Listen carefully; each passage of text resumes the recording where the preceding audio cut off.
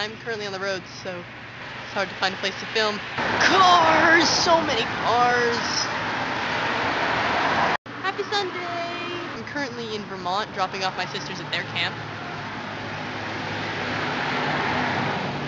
And we drove an extra hour and a half out of the way because we wanted to go to our favorite Thai restaurant that used to be in Maine, but then moved to Vermont. And that's where I am now. So while I'm waiting for the food to show up, I'm attempting to make a. But anyways, it's pretty cool like that. But I'm having a great time. My summer's going awesome so far. I have like a legit job. I feel like an actual member of the economy. It's pretty nifty. I'm home now. I got fed up editing the crappy car footage, so now it's all nice and quiet in my room. But that does mean this video is going up quite late and or early since I just got home and it's about midnight. But, yeah, that's what you get for driving during the day. There wasn't anywhere for me to post it, or we didn't stop anywhere that had internet connection that would last long enough to post a video anyways.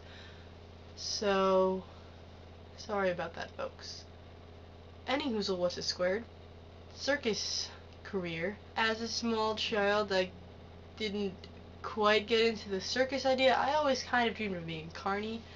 Currently, the carnival is setting up at Augusta. I don't know if you knew that, but it's happening. I drove by the other day and I was a little bit excited. But then my mom told me some strange stories about some carnies, so I got a little scared. Any carnies out there? But practically, based on skills I already have, I'd probably be one of the trick pony riders. Because one, that's kind of fun, and two, I already know how to do some stuffs.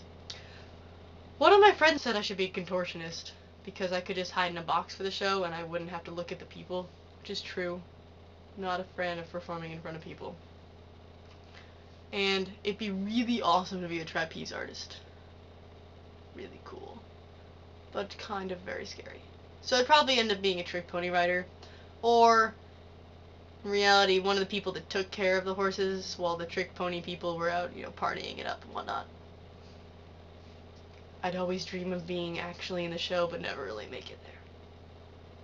Anyhow, I'm exhausted, and I still have to edit this video. I hope you didn't mind the obnoxious, noisy intro. I didn't feel like refilming that.